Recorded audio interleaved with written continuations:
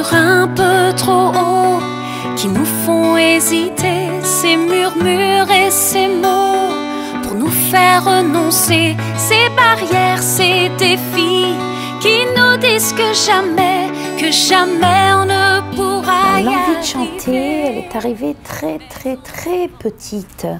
Peut-être vers 7-8 ans, je suis allée voir un concert de Serge Lama passé au Palais des Congrès à l'époque. Et lorsque je suis sortie de, du Palais des Congrès, j'ai dit à mes parents, ben moi c'est le métier que je veux faire, je veux faire comme le monsieur.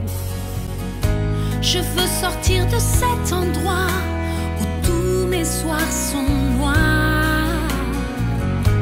À cause de ce temps foutu, je t'ai perdu de vue. À 16 ans, ben je, je prends un petit boulot pour pouvoir me payer une mobilette. Et puis, euh, je m'achète ma mobilette et là, je vais bosser. Et donc, je suis chanteuse dès l'âge de 16 ans et demi dans les restaurants, dans les pianos-bars. Comme un jour sans le jour qui cherche l'amour.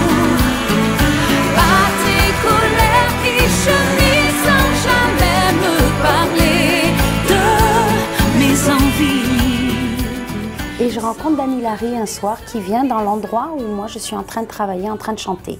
Et à la fin du spectacle, il m'interpelle et il me dit euh, Je voudrais que vous fassiez partie de mon nouveau spectacle. Je voudrais faire une comédie magicale. Lundi, on va enregistrer le plus grand cabaret du monde. On va faire un tour de magie où tu chantes. Comme ça, tu feras une télé. Donc je chante euh, et, tout le monde se met debout, toute la salle. Patrick dit euh, Tu feras les années bonheur, je t'inviterai dans les années bonheur. Et là, pareil, euh, il se passe quelque chose de magique, que les gens m'applaudissent pendant 7 minutes. Il me représente encore une fois et il dit cette, euh, cette fille fait partie de la famille. Et l'aventure du disque, pour moi, a commencé. Tu m'arrives les deux mains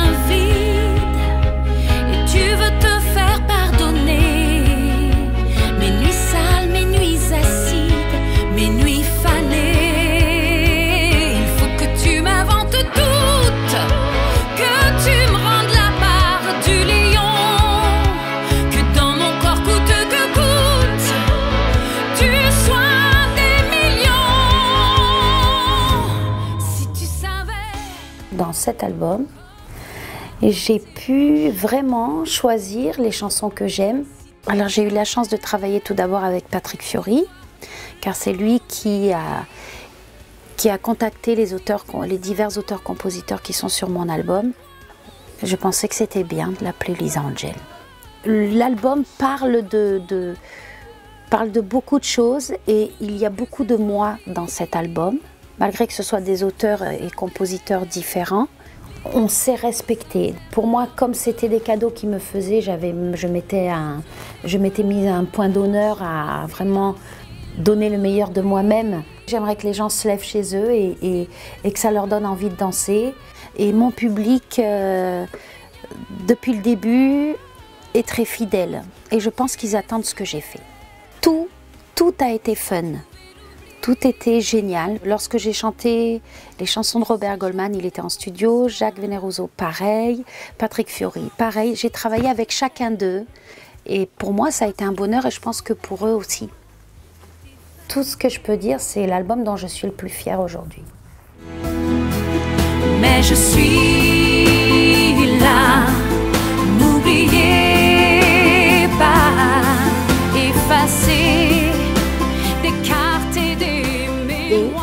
J'ai reçu de la part de Robert Goldman, n'oubliez pas. J'ai reçu cette chanson en octobre 2014 et lorsque j'ai lu le texte, j'adhère, j'aime, j'adore même. Après, Robert est allé voir Nathalie André pour qu'elle devienne la chanson qui représente la France à l'Eurovision cette année. C'est un truc de fou quand même. Tu imagines que quand je l'ai dit à mes parents que cette année c'était moi qui représentais la France à l'Eurovision, mais c'était euh, mais c'était un feu d'artifice. c'était un feu d'artifice.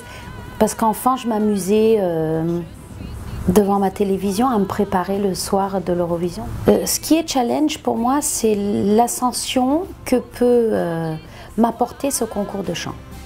Et vous chantez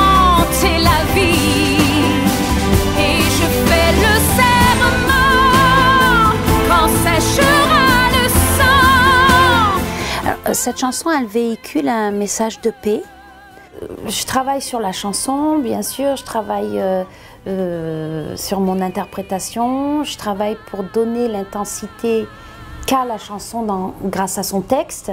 Tout est travail pour euh, essayer de, de, bien se classer et pourquoi pas de gagner. Laissez-moi une place, je ne fais que passer. love.